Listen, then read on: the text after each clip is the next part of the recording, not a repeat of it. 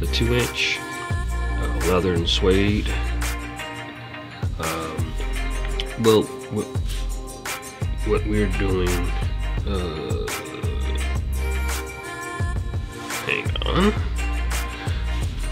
What we're doing here is we're stripping the plastic uh, that goes inside. It's made of a. Put in because that we wouldn't want it to stretch. This prevents the collar from stretching when tugged or getting wet. What I'm doing now is stripping that out for the insides.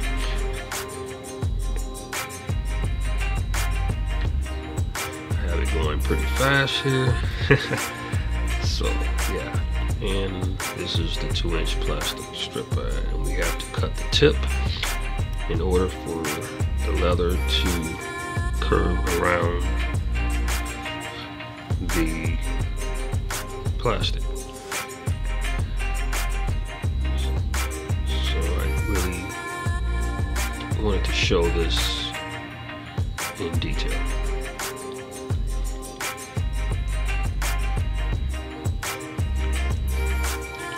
And here is the other part of the inside, which is made of leather.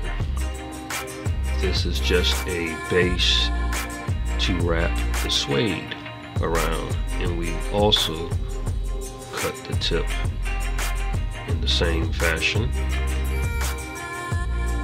except this diameter is fairly larger to go in the bottom. And, and here's the suede. We have to cut the tips of these as well. For the two inch suede adjustable.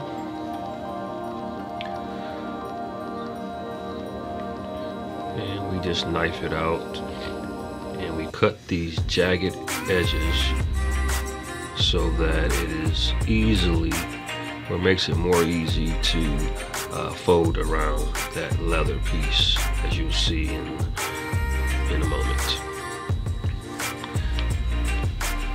That's cut.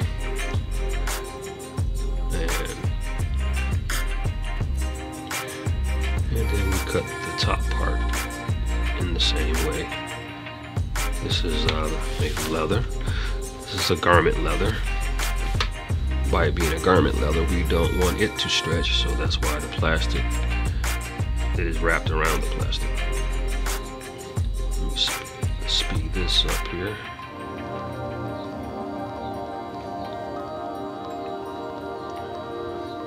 These have to be skived as well, so we'll show you that in a sec. And here's the skiver. I'll show you what that does. It sh shaves the leather so it can easily be folded.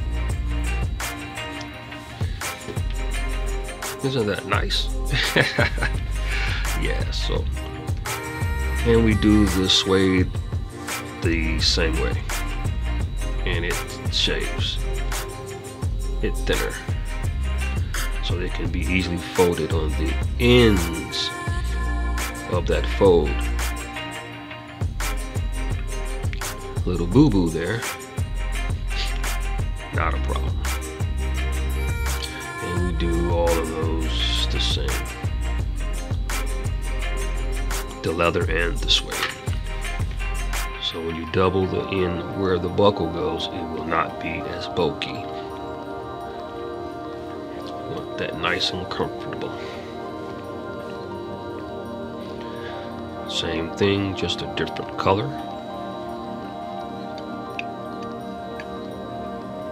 Good to go. Good to go. now we head over here to the embroiderer. We're gonna embroider these names. What we do is match. Oh well, I gotta get the. Uh,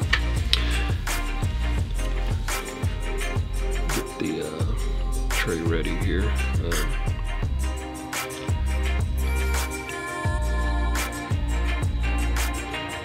what we do is match the suede and embroidery so give it a nice two-tone contrast and these can be uh, personalized with a choice of I think we got like 30 colors of suede and about 15 to 20 colors of leather. And you can go and get those at www.ruggitcollars r-u-g-g-i-t collars.com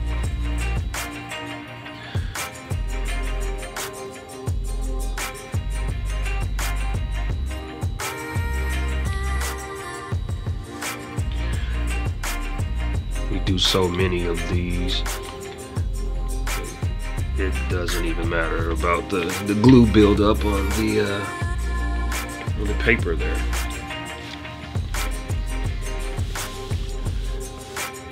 There's the contrast. It's to be a red embroidery with a red suede back, as you'll see further down the uh, video.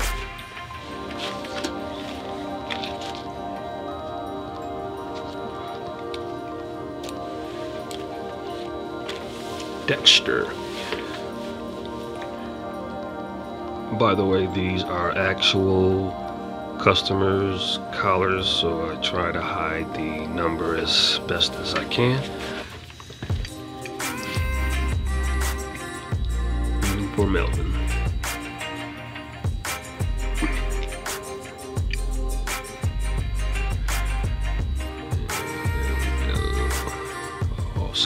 Out there.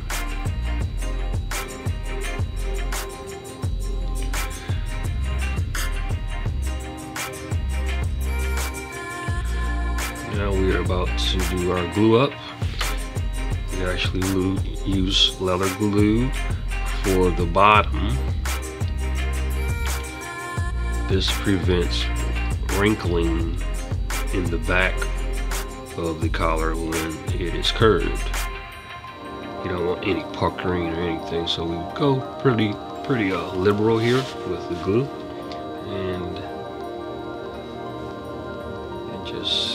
put that leather piece that we stripped out. And by the way, these strips are done exactly the same with our stripper machine. Give it a few taps here to make sure that it's adhered firmly and securely. Firmly and securely, I don't even know if that's a word. I mean a phrase. Okay few taps and all of them are done the same. Just making sure that's good and tight there.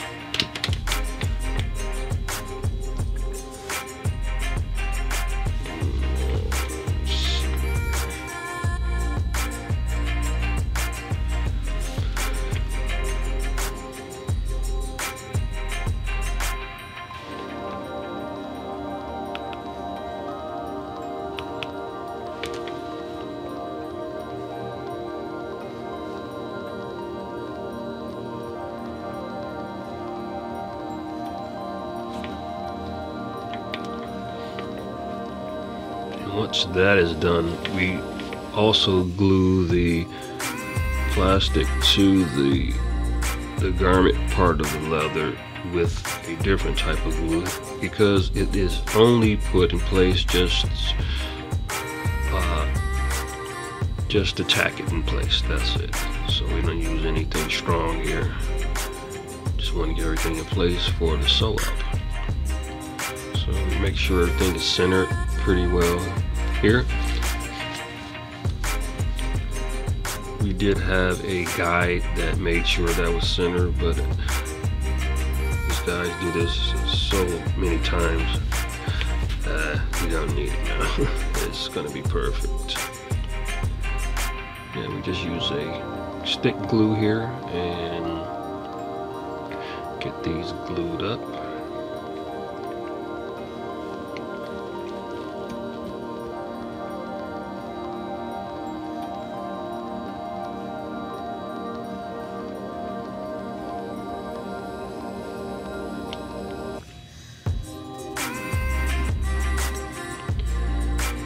As you can see, it is a lot of steps involved with our leather and suede collars here. And this is just to ensure uh, strength, longevity, and aesthetically beautifully because, uh, you know, anyone can just put something together and call it day. we pretty much put a lot of detail inside of these collars. Uh, this process here is another tack procedure just to tack it in place. Now we tip these really lightly because we don't want that needle to gum up inside of uh, of this procedure so we go really lightly. We take a little bit off. Just enough to tack it in place. Keeping everything pretty clean. Right.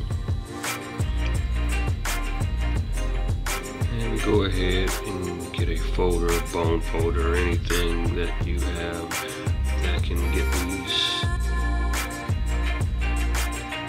put in place. Right here. There you go.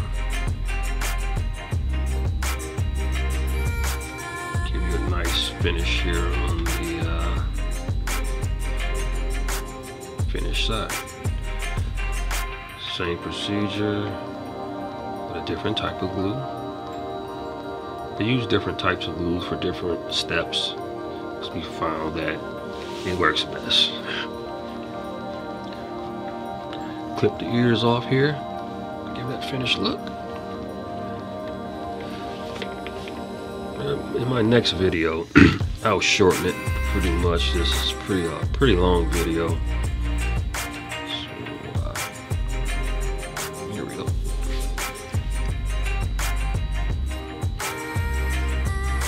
Okay, Dexter.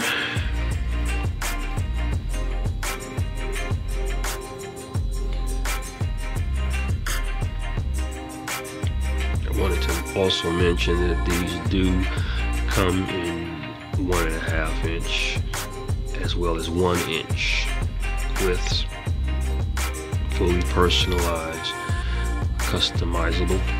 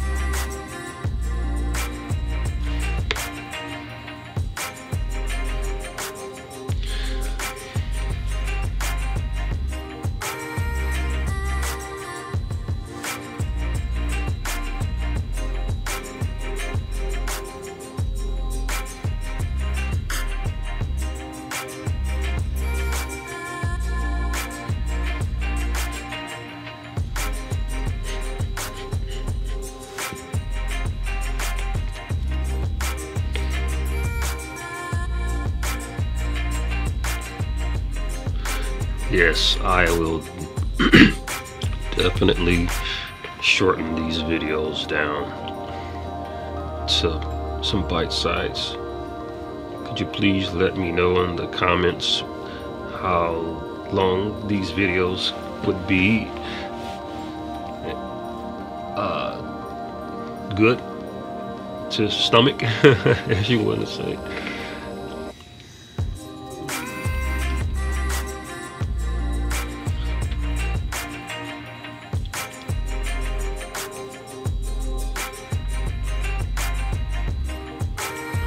videos to be, that will be coming out uh, making our most popular collar is actually the suede uh, cat collars with an aluminum customized or personalized uh, plate with the name and phone number, personal information in case your cat wanders off.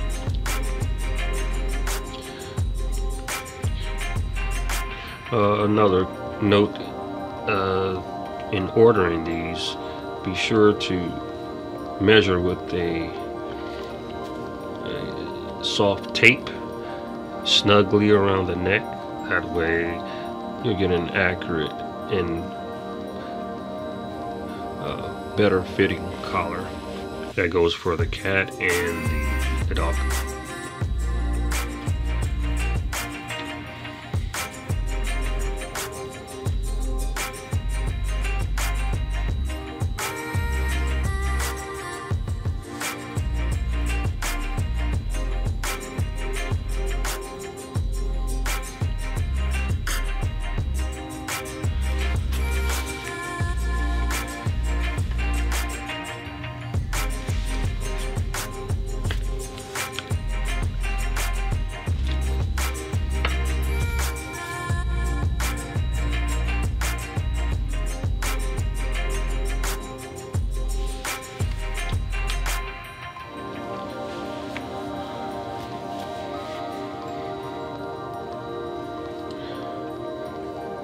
You guys would be so kind to subscribe, comment, will be greatly appreciated.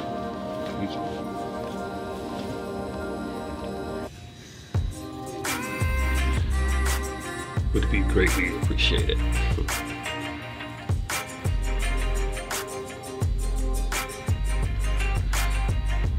Also, could you please hit the uh, like button, please, these algorithms so that I will be able to get more content to you regarding the procedures of dog collars and cat collars.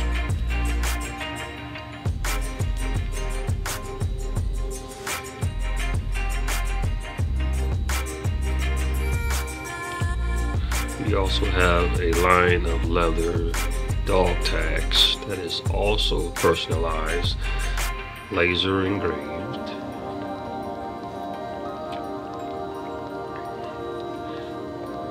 We'll be presenting a video on the procedure of that as well. And you guys could actually do these collars yourself. once you see the procedure, that is the key.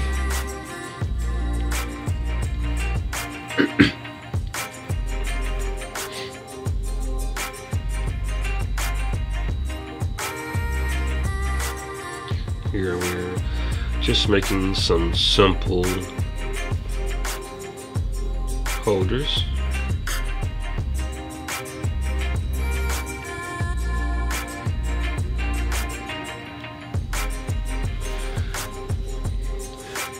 excuse me, yeah. little, little brain freeze there.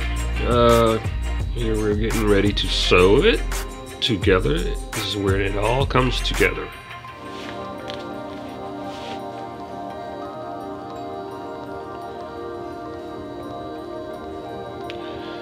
I usually have them have the light on, but I had them turn the light off so that we could film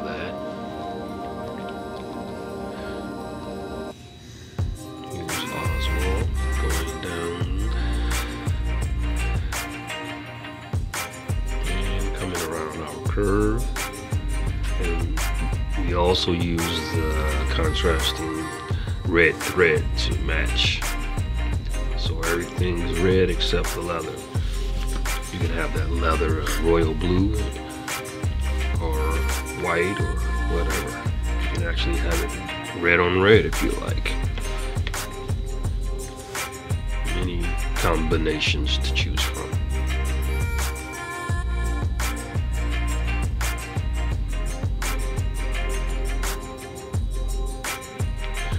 me the detail around the tip is the most crucial aspect of this collar because to me that tip is not correct.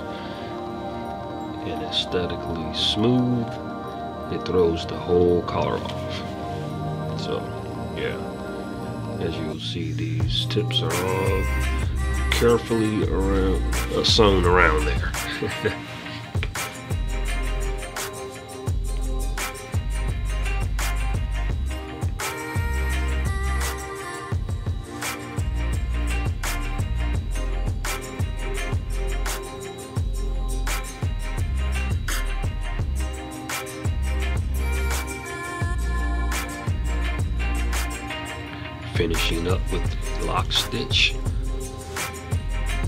We're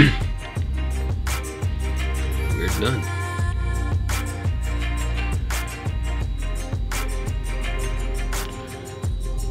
With the sewing.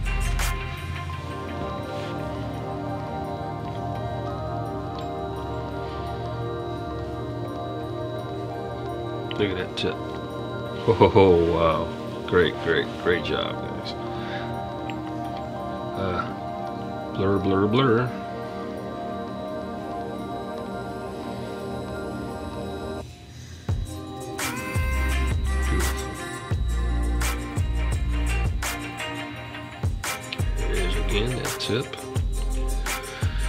And we pretty much do them all the same.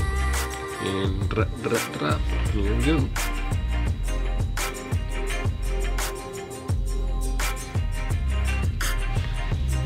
And we do them all the same. I don't like that term people say uh, it's pretty much the same. It is the same. Is it is? If it is, it is. If it isn't, it isn't. Because uh, it sounds confusing when you say pretty much. So what is that gray area?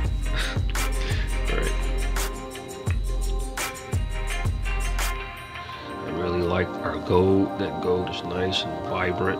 All the colors are actually vibrant but the gold really this video doesn't even do it justice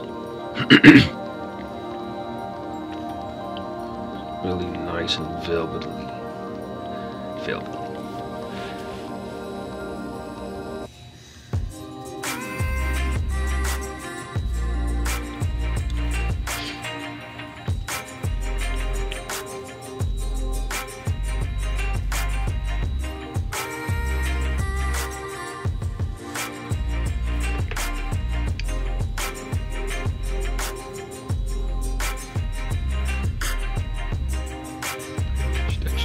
nice tip.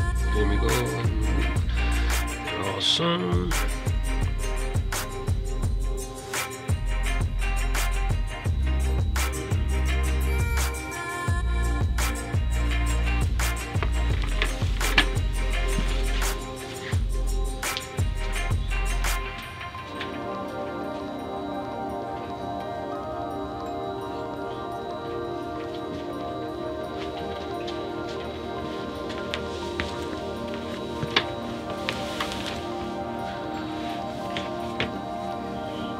Marking the holes on the ends here for the buckle, keeper, and the D-ring.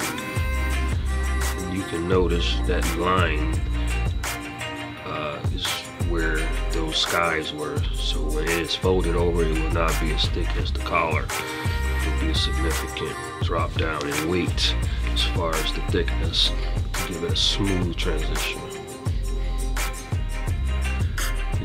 Marking that one mark so that we get the tip to um, put our holes in.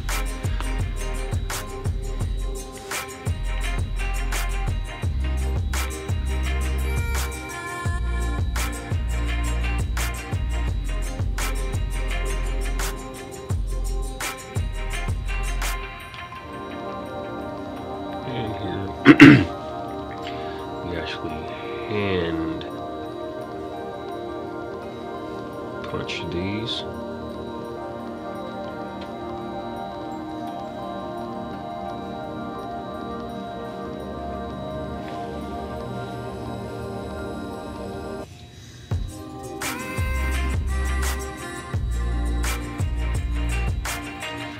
Watch it, fella, don't hit that camera.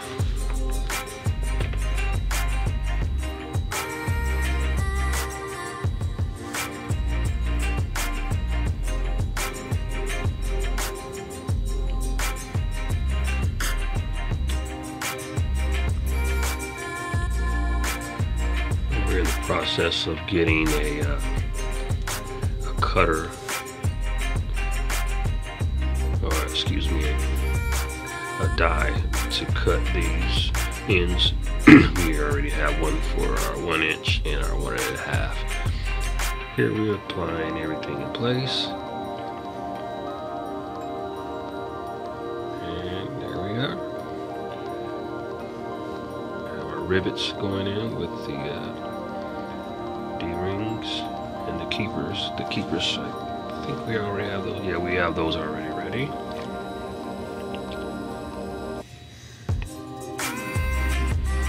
Make sure those are secure. Those are uh, stainless steel rivets, stainless steel buckle, and D-ring.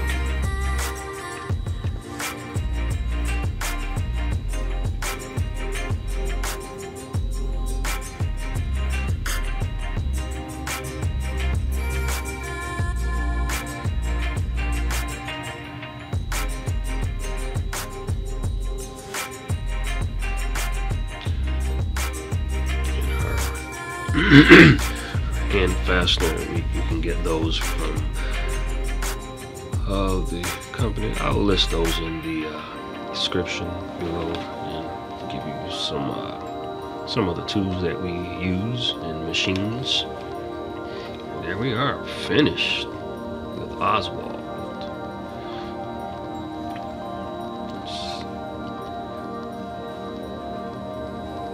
Same procedure.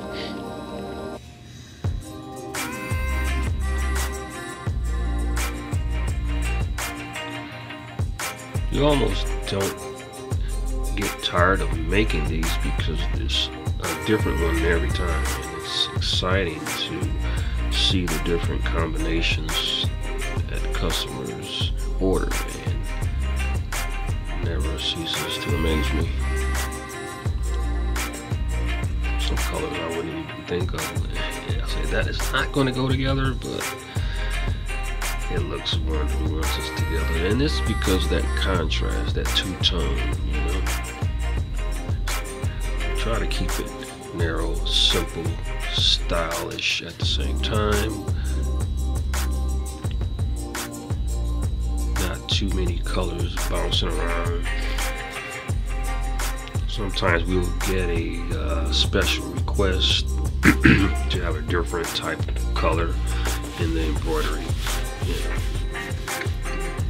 Yeah. But mostly it's two tones.